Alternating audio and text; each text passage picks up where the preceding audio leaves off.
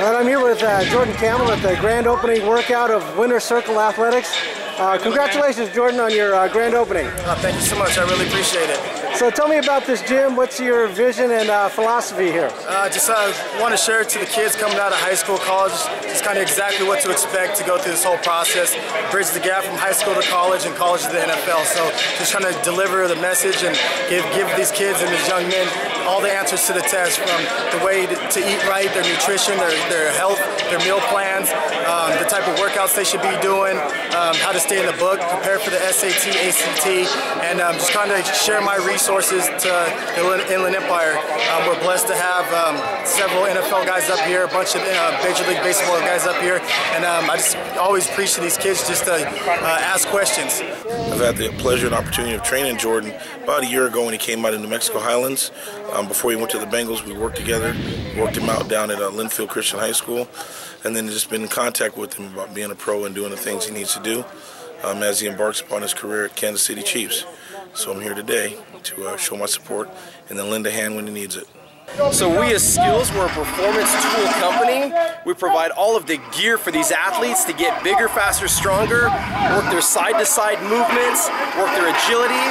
And so we're out here supporting his cause because he's a great ambassador for the sport, for health, wellness, and the sport of football baseball, and really all team sports. So SKLZ, we're based out of Carlsbad. We're very excited to be here in uh, Inland Empire supporting Jordan in the, the Winner Circle Athletics. Uh, we've known Jordan Campbell. He started training with our product a year ago and it helped him get his levels up to the prep chance where he got to go to the NFL. So we're here supporting him because he supported us.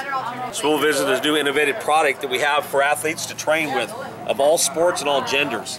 What it does is it takes the peripheral and cuts it off and allows the athlete to focus on the object at hand. It's only been out a year. It's being trained and used by uh, professional athletes all the way down to the levels of four-year-olds in all sports. Hi, I'm Diana Weeby. I'm a radio personality at 99.1 KGGI. I do the morning and midday show. I also own a nonprofit, and our mission and goal is to talk to uh, the youth about faith, food, and fitness. It's all based on a personal testimony, which I'll be sharing here today. I'm really, really excited about doing that, and these guys inside have something really great going on on for the community, and that's what it's all about. I actually met Jordan Campbell over Christmas break. I was working at my cousin's place that uh, did all the turf for the facility, and he invited me out. And it's it's a lot different than our weight room at, at Chaparral. More high intensity, different stuff. I got a lot of good work in. Felt great. I liked it. Got a good sweat going. My legs are pretty burnt right now, so should be sore in the morning. So I talked with a couple of the kids here and some of them are traveling uh, 40, 50, 60 miles to come train with you, uh, at least on the weekends if not during the week. That's a, that's um, a blessing. So what do you think about that kind of reach for, for a small gym up here in Corona? Um, I did it myself. Myself, uh, Toby Gerhart, his brother Garth Gerhart, we would go, we'd do our high school workouts after uh, school, and we would drive about 40 minutes, 45 minutes um, to, to, Montclair, out that way, Claremont area, and I would go run in a garage, probably 500 square foot, and um, we all, all three of us used to make that journey, all got to the NFL.